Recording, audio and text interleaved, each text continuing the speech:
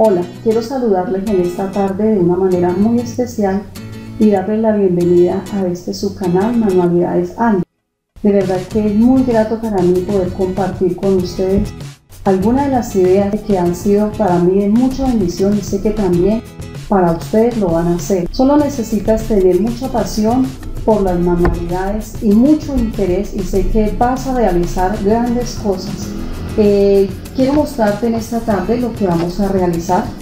Vamos a realizar este hermoso cojín. Eh, trataré de explicarte lo mejor posible para que tú lo puedas realizar allá en casa. Esta puntada yo le llamo puntada a margaritas o también se le llama punto fofoca.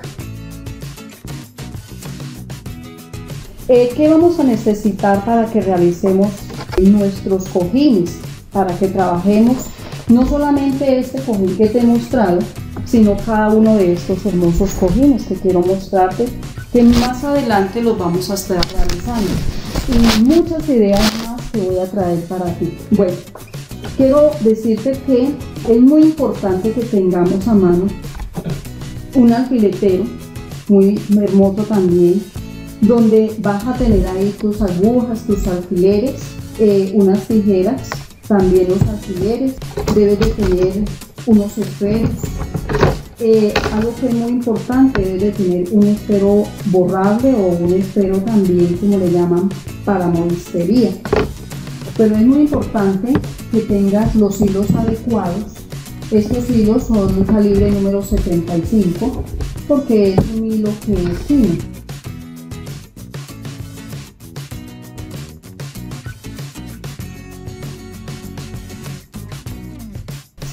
Debes de tener unas, mm, unas cremalleras, también debes de tener son las reglas. Algo indispensable para tus trabajos, vamos a necesitar unas reglas de 4 centímetros. Esta reglita tiene 4 centímetros de ancho por 50 de largo. Al igual que esta también tiene 4 centímetros de ancho, pero esta sí tiene un metro. Yo tengo aquí también unos retablitos de madera que tienen 3 centímetros. ¿Por qué? Nosotros vamos a, necesitar trabajar con reglas de 3, de 4 y muchas veces vamos a necesitar trabajar con reglas de 5 centímetros según el cojín que vamos a elaborar. Eh, vamos a necesitar, no hoy, pero más adelante, vamos a necesitar botoncitos. ¿Por qué? Vamos a realizar cojines como este donde vamos a necesitar colocarles unos, botoncitos al frente. También estas perlitas, son muy importantes tener las perlitas y de acuerdo al color del cojín que vamos a elaborar, como ya te mostraba, este cojín el punto fofoca tiene del centro de la florecita tiene su piedrita. Bueno este cojín lo tengo elaborado en una tela que se llama yacar. Igualmente es es una tela que se nos presta mucho, ya que trae el ancho de tela viene aproximadamente de 2,80 a 3 metros de ancho. Entonces, si nosotros compramos un metro, que es lo que prácticamente se nos va a, ir, porque si nosotros queremos realizar este cojín, si tú quieres que el cojín te quede de 50 de, ancho por 50, o sea, totalmente un cuadrado de 50, debes eh, utilizar un metro entonces, si nosotros compramos un metro de yacar, nos va a sobrar para que podamos realizar dos y tres cojines. También podemos trabajar con otra tela que se llama Povesois o también le llamamos satín, una tela satinada. También hay telas muy bonitas que se prestan. Eso va de acuerdo a como tú quieras realizar tu cojín, en qué material lo quieras realizar. Hay telas muy hermosas para tapizar muebles que también son muy adecuadas para elaborar nuestros cojines. Aquí tengo algunas muestras que voy a enseñarte, quiero que la aprecies muy bien. A ver, aquí la puedes apreciar mejor. Más adelante la vamos a estar realizando. Es muy hermosa y se nos va a prestar mucho porque con esta podemos hacer hasta un set de baño, queda muy hermoso. También tengo esta otra, esta muestrica esta muestrica está elaborada por la parte de atrás, por el revés de nuestra tela. También todas estas muestras se derivan de esta misma que es el punto fofoca o margarita. Podemos mirar esta aquí. que es la en que está realizado nuestro cojín, mira la parte trasera, esta parte trasera muy hermosa. Puedes mirar aquí muy detenidamente que si la sacamos, mira lo que nos va, a salir. Entonces, más adelante vamos a estarla realizando. Mira, nos queda una flor muy hermosa. Entonces, por eso te invito para que estés muy pendiente de todos los videos que voy a estar subiendo. Vamos a trabajar entonces nuestro cojín. Pero antes, eh, quiero enseñarte algo. Esta tela, ya te había dicho que necesitábamos eh, algunos, unas telas, ya te di algunos nombres, pero quiero que tengas pendiente esto. Aquí en Colombia le llamamos povesuá o telas satinadas. En otros lugares le tienen por nombre tela raso. Esta tela raso, si nosotros la vamos a trabajar como la tengo yo aquí, encima de esta mesa, cuando tú vayas a trazar con tu regla, cuando vayas a trazar, resulta que la tela se nos va a mover. Eso hay que tenerlo pendiente. Entonces, ¿qué vamos a hacer nosotros? De pronto quieras colocar por la parte de atrás un trozo de cinta para que la puedas adherir bien a, la mesa donde estés trazando. Si, la, si la, le colocas la cinta, entonces vas a ver que ya no se va a mover nuestra Ya se nos va a mover. O la otra es también con nuestra plancha, que debe ser una aliada con nuestros trabajos, nuestra plancha y con una tela. Es muy importante. Vas a colocar la tela y sobre ella, entonces, vas a colocar el trozo de tela con la que vas a hacer tu cojín y así no se nos va a mover en el momento que vayamos nosotros a trazar. La tela esta tela que nosotros colocamos debe estar muy bien planchadita. Es muy importante que tener en cuenta esas cositas. La tela que vamos a, trazar debe estar muy bien planchada también para que nuestros cuadros queden bien elaborados. Entonces ahora sí, eh, vamos a proceder a hacer nuestro, nuestra puntada, que es donde quiero que tengan muy pendiente cómo lo vamos a elaborar. Aquí tengo una cuadrícula, vamos a hacer eh, una muestra pequeña porque pues no hay mucho tiempo para que pudiéramos elaborar todo nuestro cojín, pero ya lo puedes realizar. Tengo una cuadrícula de 40 por 40 que al hacer la muestra nos va a reducir, nos va a quedar más o menos de 20 centímetros. Por eso te decía antes que si tu cojín va a llevar 40 eh, centímetros de grandor, debe de, usar el el doble de tela. Eh, tengo la cuadrícula, ya la he hecho, de 4 centímetros por todo lado. Entonces vamos a trazarlo de esta forma. Vamos a irlo trazando. Nuestra regla, pues ahí tiene de una vez el, el metro, entonces se nos va a facilitar mucho. Puedes hacerlo también con los retablitos de madera que te había comentado. Luego que tenemos la cuadrícula, entonces poner nuestro esfero o lápiz borrable o lápiz para moristería. Este lápiz lo puedes conseguir en cualquier papelería o un sitio donde vendan lo de adornos. Entonces vamos a pasar a hacer nuestras, nuestras puntadas como te voy a mostrar aquí.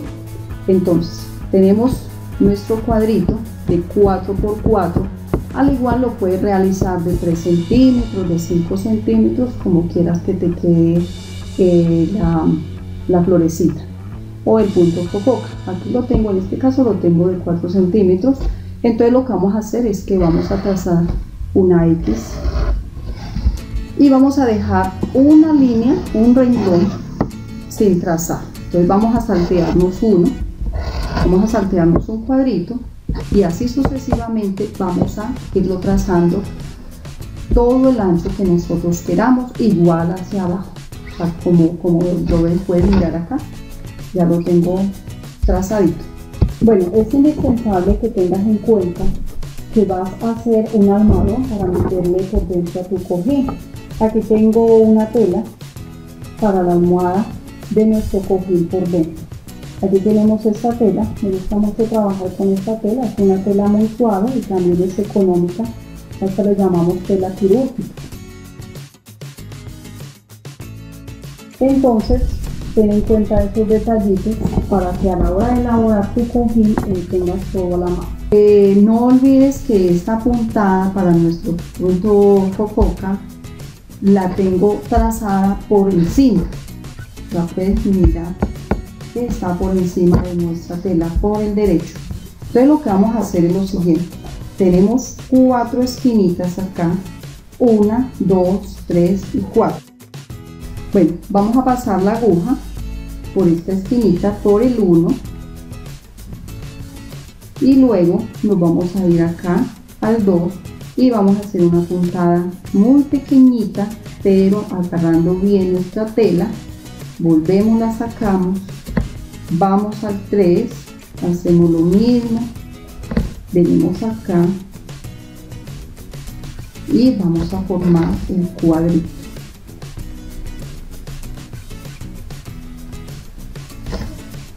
luego que lo tenemos entonces vamos a jalar. Y ya puedes apreciar que nos está quedando nuestra florecita. Y luego que jalamos entonces vamos a coger las cuatro punticas de nuestro centro con mucha delicadeza porque si la coges más acá entonces lo que vas a hacer es que vas a dañarle la horma a la florecita. Bueno ahí está.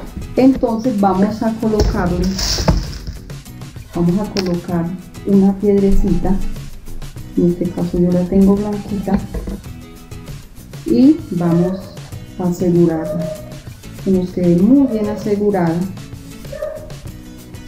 este lo estoy haciendo con este color de hilo para poder que lo puedas apreciar mejor aseguramos muy bien de una vez podemos rematar otra vez nuestras esquinitas y vamos a pasar la aguja por un costadito mira ¿sí? está el cuadrito pero lo vamos a pasar aquí por un costadito y aquí es donde vamos a rematar vamos a rematar muy bien. Listo y así sucesivamente vamos a ir haciendo nuestras otras puntadas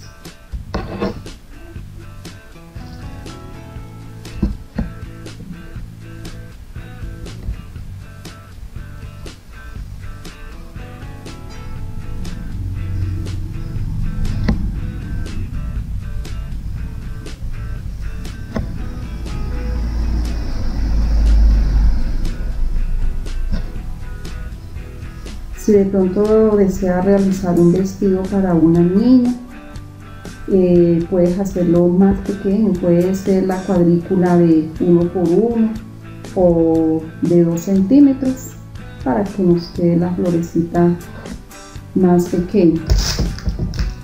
Más adelante vamos a estar viendo muchas puntadas que se nos prestan mucho para los vestidos de novia, para los vestidos de 15 entonces no, no olvides estar pendiente de, mi canal que ahí voy a estar subiendo los videos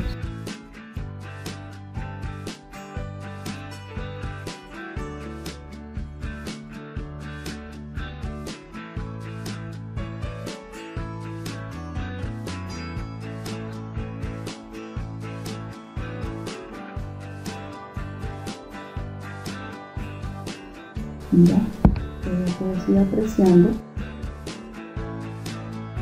cómo nos va quedando hermosa. Nuestras florecitas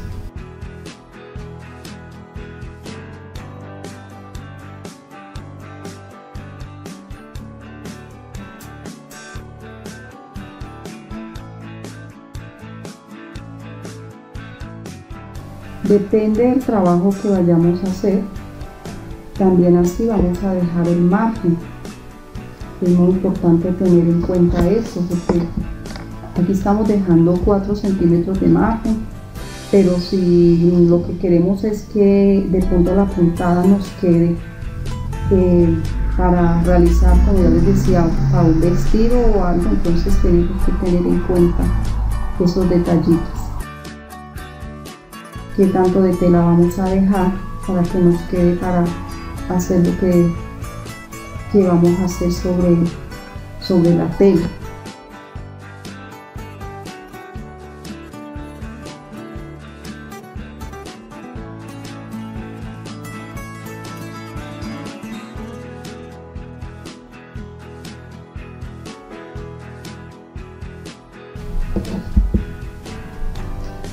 Bueno, yo creo que es suficiente con esta para que puedas apreciar.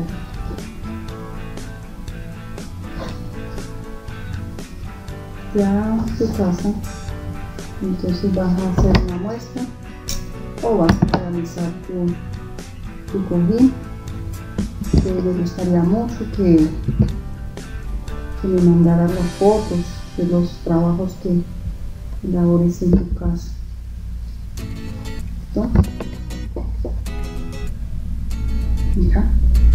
Esta la tengo, ¿ves? Está con tela por nuestro, por el derecho trazado.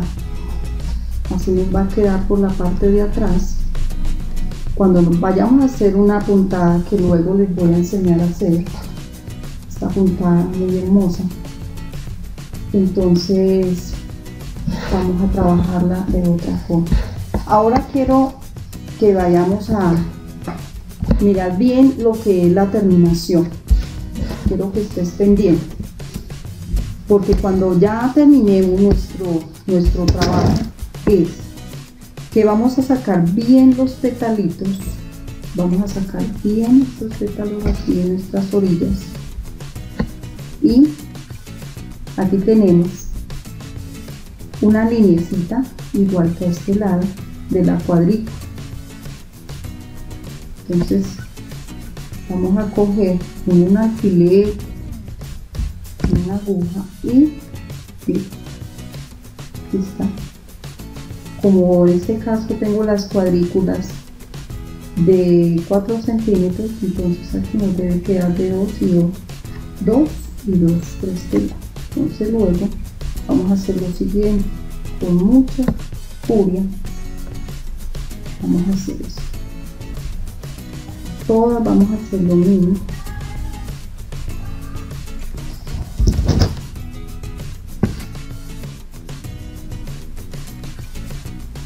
Con alfileres o lo puedes rastrear. Lo importante es que nos quede nos quede armado ahí el pétalo y con eso se nos va a prestar cuando lo llevemos a, a la máquina nos va a quedar bien el cuadrado. Entonces nos va a quedar así. Nos va a quedar así. Y no se nos va no se va a perder la forma de, de la florecita. Por este lado lo vamos a hacer igual por este lado también.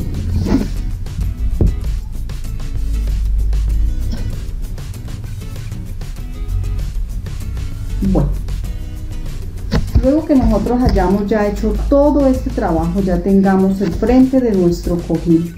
Hay muchas personas que les gusta hacerle las dos caras al cojín por este lado y por este lado también. En este caso yo lo tengo solamente elaborado una sola cara y por la parte de atrás lo tengo con material. Quiero mostrarte cómo vamos a hacer ya tenemos nuestro, nuestra cuadrícula. Aquí la tengo en una muestra pequeña. Vamos a apreciar acá. Entonces, bien sea por ambos lados, como tú quieras hacer las dos caras para nuestro cojín, entonces lo que vamos a hacer es que vamos a coger una tela. Una tela para forro o la tela eh, que ya les había explicado, una tela quirúrgica. Aquí tengo ya un pedacito entonces lo que vamos a hacer, es muy importante que nos acostumbremos a tapar lo que es el revés de nuestro cojín. Entonces aquí tengo un pedacito ya cortado Vamos a coser por todos los costados con la fileteadora o si no tienen fileteadora, entonces es muy bueno que le hagamos zigzag para que nos quede tapado el revés. Esto le da mucha presentación a nuestros trabajos. Después de esto vamos nuevamente, vamos a coger y vamos a montar nuestro, nuestro trabajo sobre la tela de la misma y vamos a trazar. Yo aquí tengo ya listo lo que es la parte de atrás con el aumento para la cremallera. Te lo voy a mostrar. Ya tengo. Lo que hacemos es que cortamos cortamos en este caso si decimos que nuestro cojín es de 50 por 50 entonces vamos a cortar por todos los lados sería 50 por 50 pero vamos a tener en cuenta que es la parte de atrás donde va a llevar la cremallera en este caso yo tengo aumentados 4 centímetros hacia arriba. Y qué vamos a hacer entonces vamos a cortar eh, ya tú decides si le vas a cortar a ver te muestro el cojín entonces decides si lo vas a cortar en esta parte arriba o lo quieres en esta parte abajo eh, a mí me gusta mucho hacerlo ponerle la, la cremallera aquí por lo que pues Aquí también eh, se presta mucho, pero pues por lo que tenemos nuestro trabajo a este lado, entonces de pronto se nos va a dañar mucho. Entonces es preferible en esta parte. Bueno, a ver te explico acá. Entonces, vamos a llegar, luego que la cortamos, entonces si quieres con un alfiler a ambos lados, 2 y 2 centímetros, tenemos dos y dos y lo que vamos a hacer es que lo llevamos a la plancha abrimos la costura ¿sí?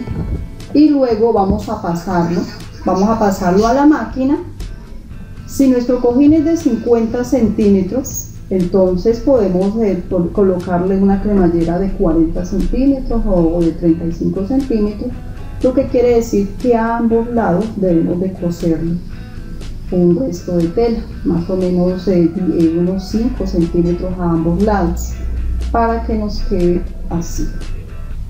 Así nos quedaría entonces, ya está planchadito. Luego que hemos colocado nuestra cremallera, vamos a llevarla a la tela que ya tenemos acá, forradita. Vamos a pegarla por los cuatro costados. Es muy importante hacerle filete o o zigzag para que nos quede bien la terminación, la presentación de nuestro cojín también por el revés. Entonces abrimos la cremallera con cuidado, pues en este caso no la pegué porque es una muestra muy pequeña. Lo que haces entonces es que abres y volteas el cojín. luego que ya has volteado el cojín, entonces ya vamos a tener nuestro cojín totalmente elaborado. Bueno, espero les haya gustado el cojín que hemos elaborado en el día de hoy. Para mí es muy grato haber compartido con ustedes. Si tienen alguna inquietud, no dudes dejarlo en los comentarios. No olvides suscribirte y darle me gusta al video. Nos vemos la próxima semana. Que el Señor los bendiga grandemente.